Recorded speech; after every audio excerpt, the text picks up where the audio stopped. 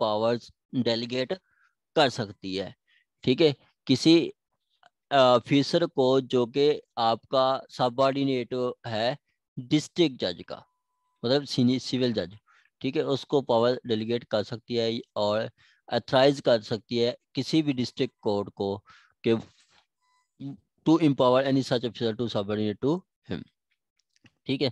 कि वो आप डिस्ट्रिक्ट जज को भी कह सकती है कि जी, वो अपने पावर मतलब जो केसेस उनके सबॉर्डिनेट के पास चल रहे हैं, ठीक है सिविल जजेस के पास चल रहे हैं, उसको ट्रांसफ़र करें किसी दूसरे जज को। मतलब ये जो पावर है फोर ए के तहत हाई कोर्ट किसी सिविल जज को अपनी मतलब वो पावर दे सकती है कि जी वो केस को सुन सकती है, ठीक है। यहाँ पे वही मैंने नीचे भी लिखा है कि जी हाई कोर्ट इम्पावर करती है सिविल जज को और इम्पावर करती है सेशन जज को। सिविल जज को करती है कि जी कोई केस आप सुन सकते हैं और डिस्ट्रिक्ट जज को इम्पावर करती है कि कोई केस आप ट्रांसफ़र कर सकते हैं। ठीक हो गया? आप कोई केस ट्रांसफ़र कर सकते हैं। दूसरा वो कहता है डिस्ट्रिक्ट जज आर सेशन जज in writing transfer at any stage are pending the court dispose any officer subordinate to him. इसके एक्ट के तहत फिर डिस्ट्रिक्ट जज जो है कोई केस ट्रांसफ़र कर सकता है और कोई केस को आपका वो मतलब जो इसके सबऑर्डिनेट के पास जो केस चल रहा है, उसको ट्रांसफ़र भी कर सकता है और उसको सुन भी सकता है खुद। ठीक है? उसको सुन भी सकता है। देखे ये मैं फिर बता रहा था, इससे पहले ये फोर ए नहीं था तो ये केस चलते थे आपके सेशन जज के पास। ठीक है? यहाँ पे चलते थे सेशन जज के पास डिस्ट्रिक्ट जज के पास ये गार्डन के केस चलते थे। अब क्या, कहाँ पे चलते हैं? अब चलते हैं आपके फैमिली कोर्ट के पास मतलब सिविल जजेस के पास चलते हैं। कहाँ पे? सिविल जजेस के पास चलते हैं। चलें जी, आगे जी आपका।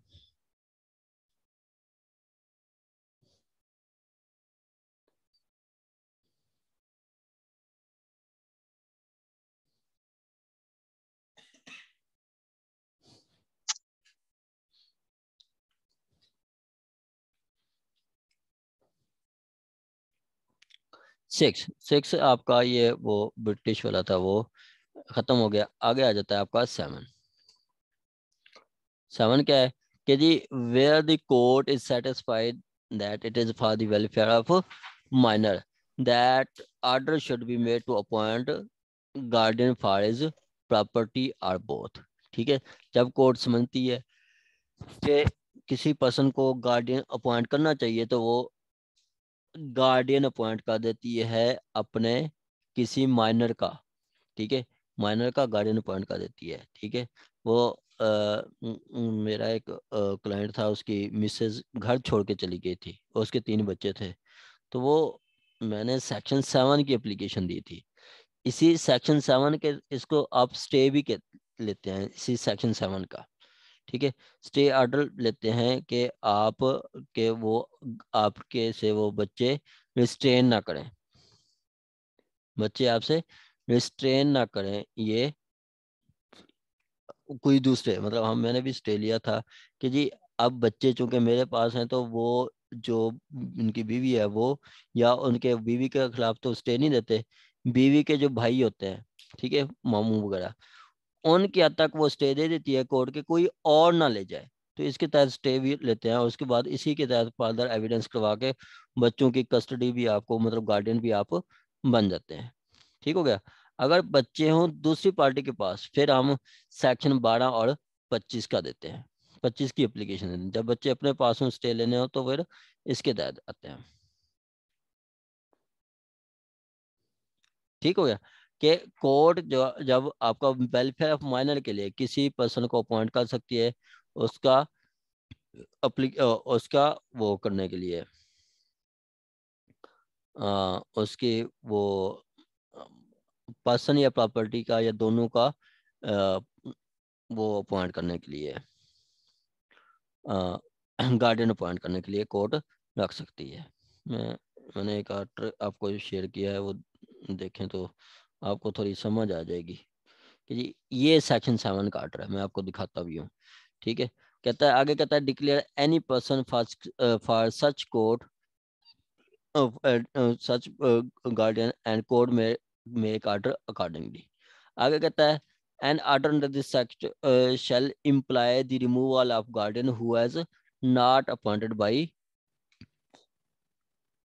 by will ठीक है? कहता है जो इस एक्ट के तहत आप कोर्ट ऑर्डर करती है, इस सेक्शन के तहत मतलब इस सेक्शन सेवन के तहत कोर्ट ने किसी एक पर्सन को गार्डियन मुकर कर दिया।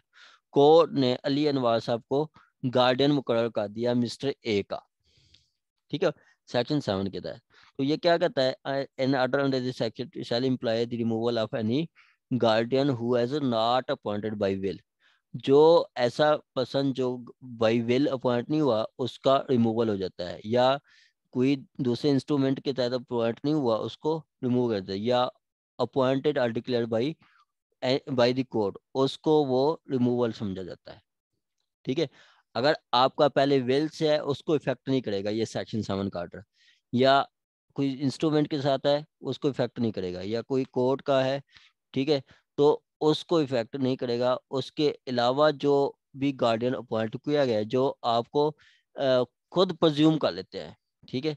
जो आपको खुद प्रज्यूम करते हैं, जिसको कहते हैं डिफेक्टो गार्डियन उसको इफ़ेक्ट करेगा। उस पे इम्प्लाई होगा, बाकियों पे नहीं होगा। एक होता है आपका डी फैक्टो गार्डियन गार्डियन और एक होता है डी जुड़े गार्डियन। ठीक है, ये कौन होता है? ये होता है ये होता है आपका, ये वो पर्सन होता है who presume himself presume himself as guardian of minor guardian of minor ठीक है, और ये appointed by appointed by court. De jure होता है आपका, जो कोर्ट अपॉइंट करती है उसको डीजूरे कहते हैं, जो डिफुक्ट होता है वो आपका जो खुद को प्रज्यूम कर लेता है, ठीक है? जो खुद को प्रज्यूम कर लेता है। अब यहाँ पे कहते हैं कि जी, ये जो एक्ट है, जो डिफुक्टो डिफेक्टो गार्डियन है, उसको इफ़ेक्ट करेगा। डी जोड़े को नहीं करेगा। या जो कोई विल के तहत कोई टेस्टमनी के साथ कोई इंस्ट्रूमेंट के साथ हुआ है, उसको इफ़ेक्ट नहीं करेगा। उसको इफ़ेक्ट नहीं करेगा। आगे कहता है where the guardian has been appointed by will instrument और appointed by court under this section or appointing और declare another person to be guardian in his stead shall not made until power of guardian or aforesaid has seized under this act. ठीक है? कहता है कि जी, आपका जब person appoint होता है किसी विल के तहत या किसी इंस्ट्रूमेंट के साथ या कोई अपॉइंट करती है, कोई कोर्ट ठीक है? जो कि अपॉइंटिंग है डिक्लेयर है, ठीक है? Person to guardian is stayed shall not be made until power cease मतलब जो अगर ये कोई विल के तहत, इंस्ट्रूमेंट के तहत या कोई कोर्ट के तहत कोई अपॉइंट है तो नया गार्डियन उस वक्त तक नहीं बनाया जाएगा, जब तक वो पहले वाला जो गार्डियन है, उसकी पावर सीज ना हो जाए इस एक्ट के तहत। उसकी कब सीज होती है? सीज के लिए आपने पढ़ा है कि वो आपका आर्टिकल फोर्टी है, जब वो गार्डियन मार जाता है, ठीक है? जब गार्डियन मर जाता है फिर सीज हो जाती है, या उनतालीस है उसको रिमूव कर दिया जाता है, ठीक है? या आपका इकतालीस है, इसके साथ इकतालीस है, जब सीज किया जाता है। जब वो खुद इस्तीफा दे दे, या उसको रिमूव कर दिया जाए, या वो आपका उसको सीज कर दिया जाए, इन तीन सिचुएशन में उसकी पावर खत्म हो जाती है, ठीक है? तो ये बता रहा है आपका ये आपका बता रहा है कि जी जब नया गार्डियन अपॉइंट करेंगे, ठीक है मतलब बेल के अलावा तो उसके अलावा कोई अपॉइंट किया जाएगा। तो उस वक्त तक वो नहीं अपॉइंट किया जाएगा, जब तक वो पहले जो वेल वाला इंस्ट्रूमेंट वाला या कोई कोर्ट की तरफ़ से अपॉइंट किया गया है उसकी पावर सीज ना हो, नया गार्डियन अपॉइंट नहीं किया जा सकता। ठीक है, नया गार्डियन अपॉइंट नहीं किया जा सकता। ठीक है? ये आ, आपका सेक्शन सेवन का है। ठीक है?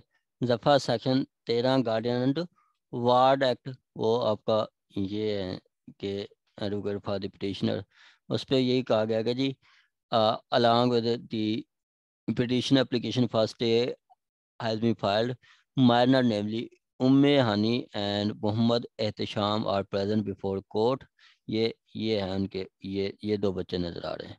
ठीक है?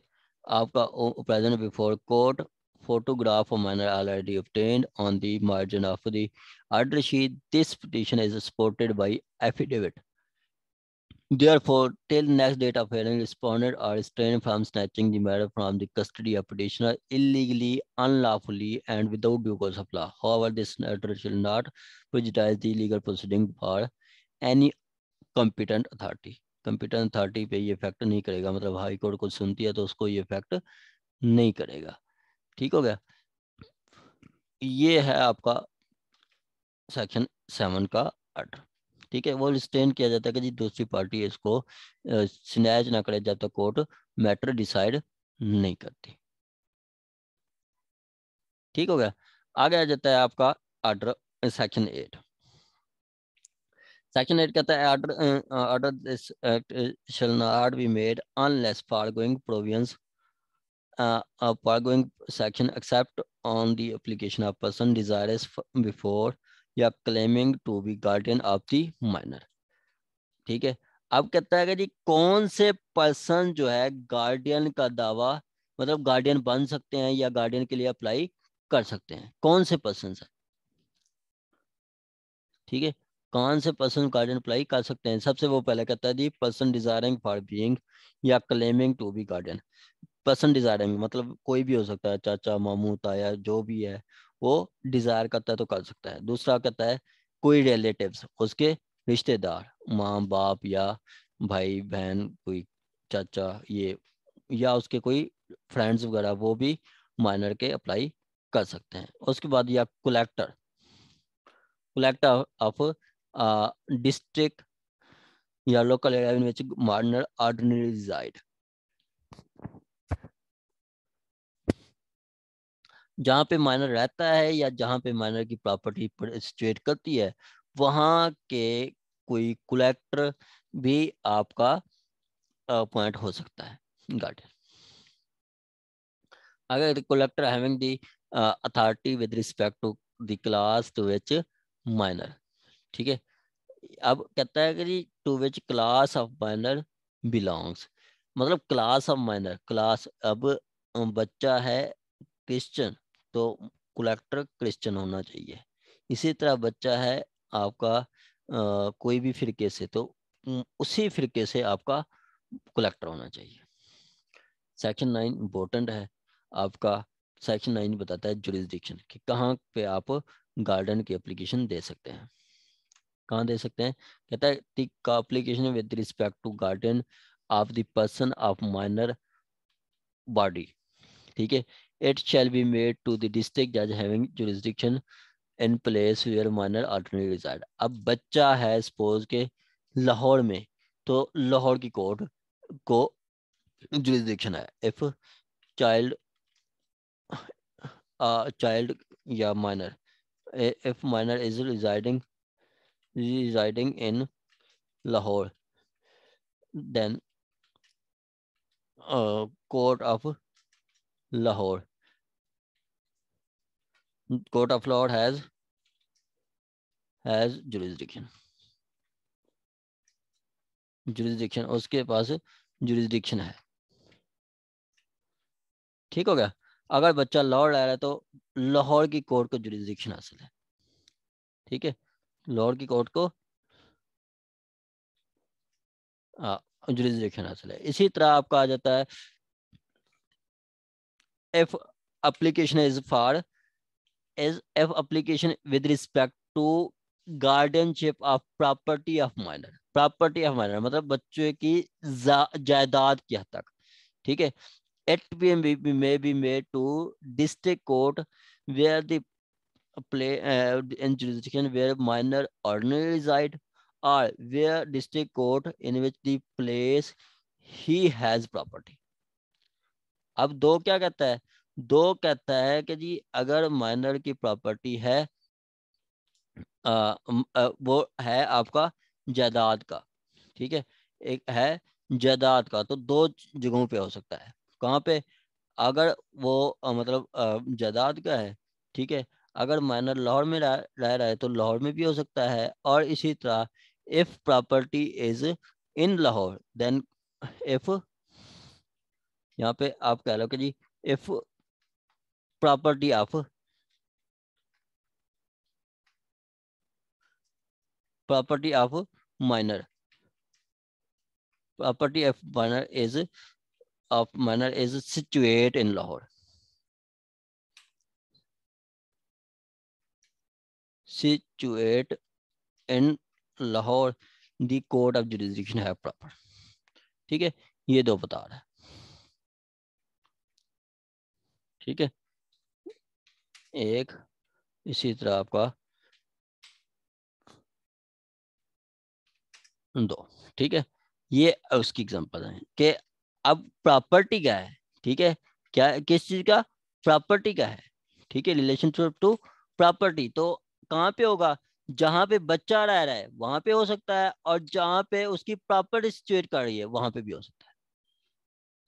जहाँ पे बच्चा रह रहा है, वहाँ पे हो सकता है, ठीक है? If residing in Lahore and property तो देन लाहौर पे भी हो सकता है।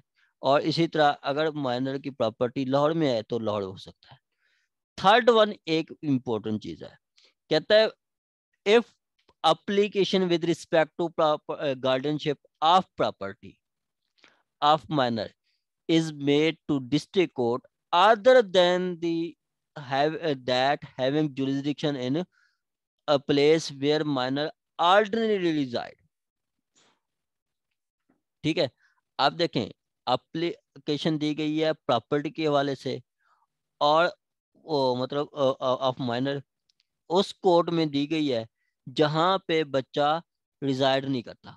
Other than that having jurisdiction in the place where the minor ordinary reside the court may return the application if it is opinion the opinion that application would be dispose of justly and conveniently by any other district court having jurisdiction. ठीक हो गया? Simply ये आपका वो है, आपका वो CPC का कौन सा है? सीपीसी का कौन सा है? आपका वो seven ten CPC order seven rule ten के जब आप एक केस फ़ाइल करते हैं प्रॉपर्टी आपकी पड़ी है, लाहौर केस फ़ाइल कर देते हैं, मुल्तान तो मुल्तान की कोर्ट कहेगी कि जी आप जाएँ, लाहौर जाके दावा दायर करें, इधर आपकी जुरिस्डिक्शन नहीं बनेगी। आपको आपका केस रिटर्न कर देगी। रिटर्न करेगी for the filing to proper court ठीक है? और उसमें ऑर्डर लिखेगी, क्या ऑर्डर लिखेगी कि दावा कब ये फ़ाइल किया गया और कब रिटर्न हो रहा है, कौन रिटर्न कर रहा है और उसकी रीजन लिखेगी कि किस वजह से रिटर्न हो रहा है। ठीक हो गया? हाँ जी, आप साहब हम्म हम्म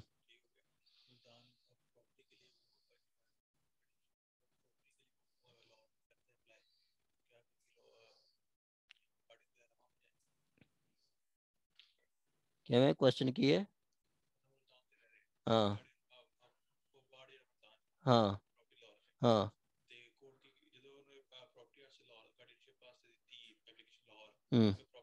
हम्म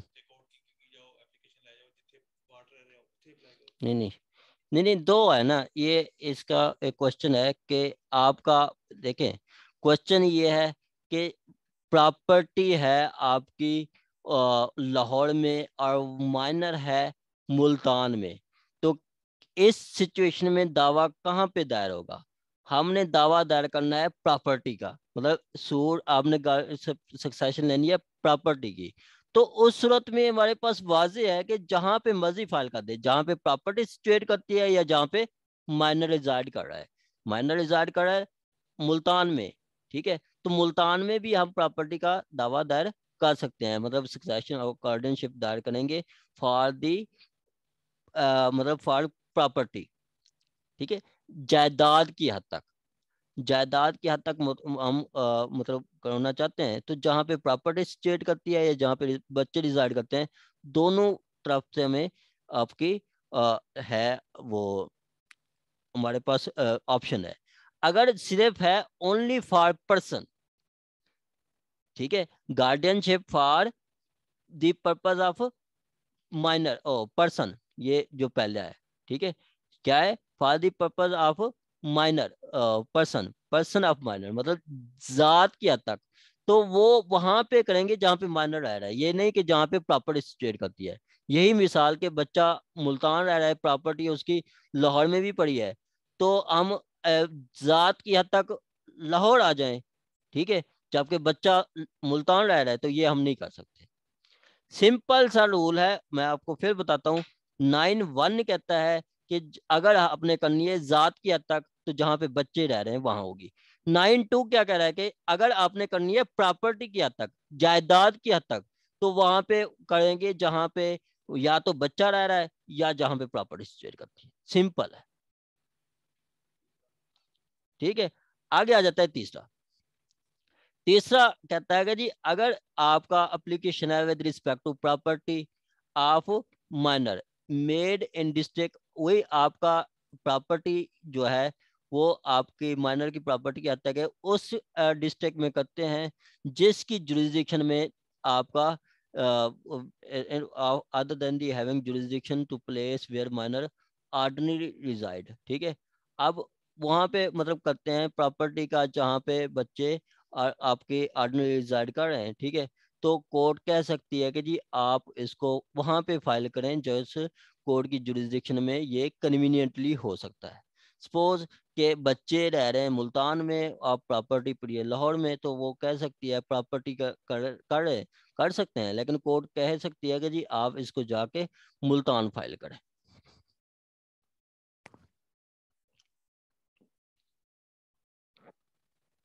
जी सेक्शन नाइन तक किसी का कोई क्वेश्चन हो तो आप पूछ सकते हैं वरना हम आगे चलते हैं।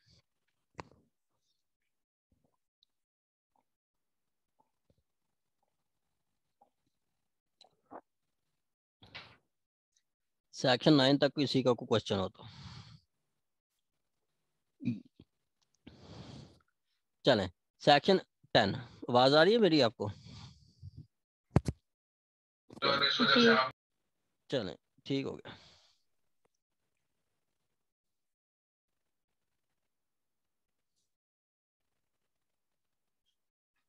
हाँ जी ये एक्चुअली वो मटेरियल काफ़ी होता है, फिर बाद में मिलता ही नहीं है। चले, मैं आपको ये शेयर करता हूँ, ये आप एक फार्म है, ठीक है? वो फार्म मैं आपको शेयर कर रहा हूँ, वो फार्म देखें आप। चला जी, ये आपका सेक्शन टेन जो है ना फार्म गार्ड वो कौन सा फार्म होता है जो हम अप्लाई करते हैं? ये इधर आपको फॉर्म आ जाएगा, मिल जाएगा फॉर्म ये फार्म है। ठीक है? ये फॉर्म है कि इसको नाम जदा जिन्स लिखी जाती है कि क्या, कहाँ पे वो मतलब वो एक तो साइल का नाम और उसका वो नाम, जिन्स, मज़हब, सुकूनत, ठीक है? नाम सेंस ये क्या है कि नेम, सेक्स रिलीजियन ठीक है? Birth order residence of minor, ये वही चीज़ आ रही है कि नाम, जिन्स, मज़हब तरीक पैदाइश और रिजाइडिंग तो वो क्या है? फरीद नसरीन, दुख्तर, नवाब अली अली उस्मान, राबिया, उमर हयात, ये कौन है? ये माइनर्स हैं। ठीक है? ये माइनर्स हैं। दूसरा वो कहता है where the minor is female is married और नॉट अभी देखें, अगर वो नाबालिग शादी नाबालगा शादी औरत है, ठीक है? और वो तो उसके खावन का नाम, ठीक है? कि उस शादीशुदा औरत है तो उसके खावन का नाम। आगे वो थर्ड वन कहता है कि दीन आपका name and approximate value of property कि प्रॉपर्टी की वैल्यू क्या है? अप्रोक्सीमेट तखमीन आके जी कितनी वालियत किया? हमने बताया कि जी एक लाख बहत्तर हज़ार आठ सौ सताइस रुपए उसके अकाउंट में पड़े हैं, जो कि एच बी एल ब्रांच है, रायवेंड ब्रांच तो ये सारा कुछ सेक्शन टेन में बताया गया ये आपने देखना है। ठीक हो गया? ये आपने देखना है। आगे आ, आ, आ जाए सेक्शन ग्यारह पे। जब ये आपकी एप्लीकेशन एडमिट हो जाती है ठीक हो गया? तो उसके बाद आ जाता है कि एप्लीकेशन नोटिस किए जाते हैं। ठीक है? If court is satisfied that there is sufficient grounds for the proceeding if satisfied for the grounds for the uh, of proceeding on application it shall fix a day for hearing and shall cause notice क्या करती है cause notice of application and date of fix for hearing वो notice करती है to be served in manner directed in आपका CPC CPC में आपका सामान सर्व करने का तरीकेकार टोटली आर्डर फाइव में बताया गया ठीक है कहाँ पे आर्डर फाइव में ठीक है, आपका आर्डर फाइव में बताया गया है।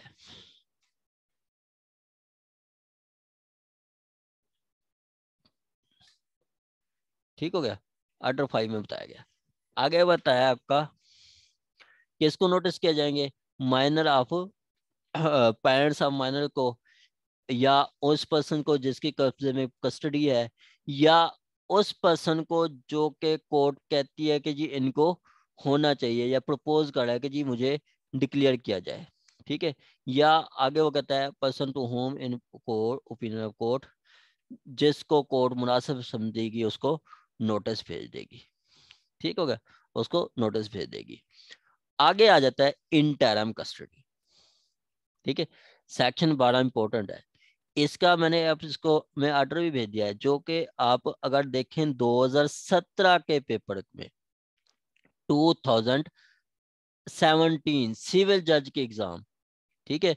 वहाँ पे उन्होंने कहा था कि जी, आप इंटरम कस्टडी का ऑर्डर लिखें। क्या चीज़? इंटरम कस्टडी का ऑर्डर लिखें। वो इंटरम कस्टडी का ऑर्डर भी इसमें है, जिसमें वो बाद में शेड्यूल चाका देते हैं। ये इंटरम कस्टडी का ऑर्डर है। ये क्या है? सेक्शन बारह का ऑर्डर है। ये इसमें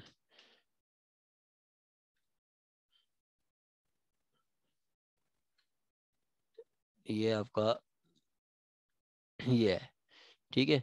वो आपका शेड्यूल ऑर्डर पास करते हैं एंड वो डिस्कालिफिकेशन ऑलमोस्ट ऑटोमेटिक दी आपका कोड कम्युनिकेशन ये तेज़ी में भी और ये जो है डी फॉर्मूला और ये in order two four P D इसमें ना फिर ये है meeting schedule as a chart ठीक है? आपका वो कहता है कि the responder real father minor where start of the minor meeting a chart out ये आपका जो टाइम कस्टडी का ऑर्डर होता है मीटिंग शेड्यूल चाक आउट कर देते हैं और फिर इश्यूज़ फ्रेम कर देते हैं। और फिर इश्यूज़ फ्रेम कर देते हैं, ये आपका माइनर कस्टडी का ऑर्डर है, आपका इंटरम कस्टडी का। ये सेक्शन बारह interim custody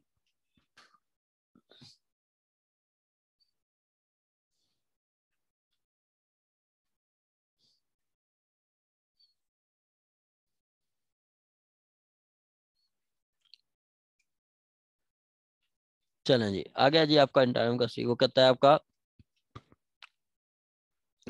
court may direct court may direct if person court में डायरेक्ट इफ़ पर्सन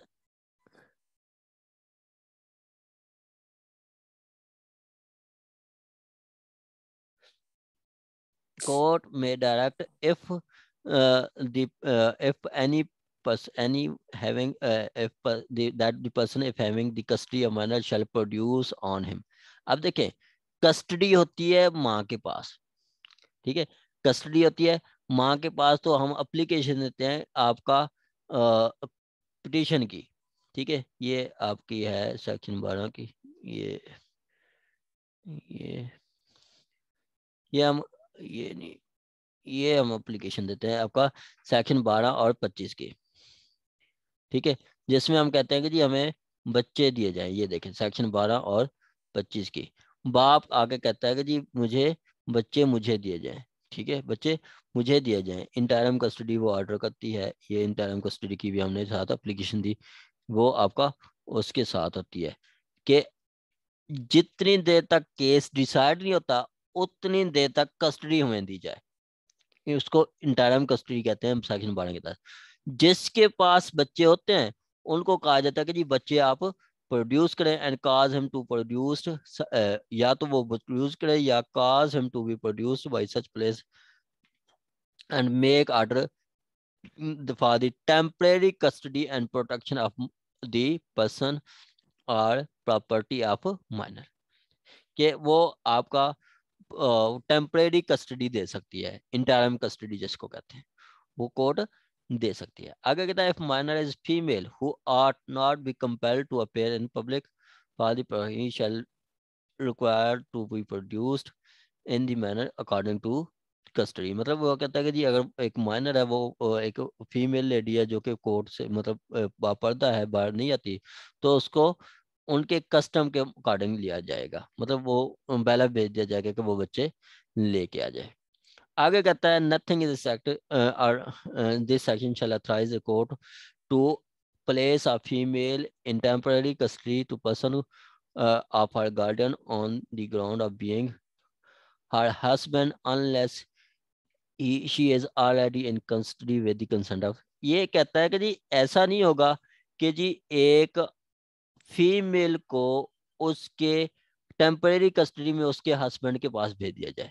नहीं। हाँ अगर वो पहले रह रही है या उसके बाप दादा चाहते हैं कि वो उसके साथ रहे तो फिर दे सकते हैं, वरना नहीं। वरना नहीं।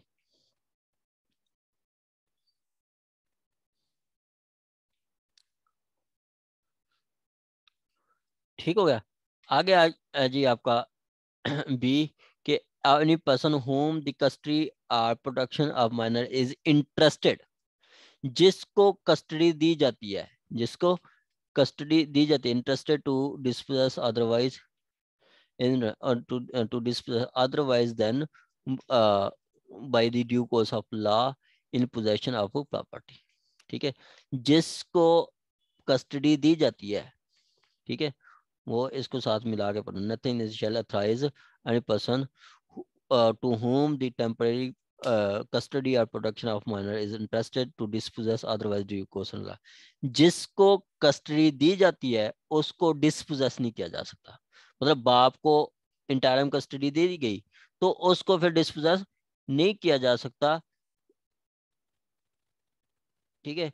जब तक उसको डिस्पोजेस नहीं किया जा सकता जब तक उसको अकॉर्डिंग टू लॉ डिस्कस नहीं किया जाए।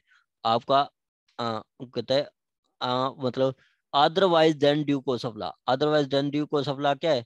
Otherwise than due course of law से मुराद आपका ये सेक्शन 25 है। ठीक है? ये आपका मे डिस्पोजेस में disposes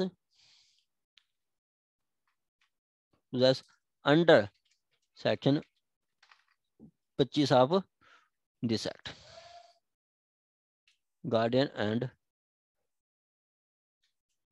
ward act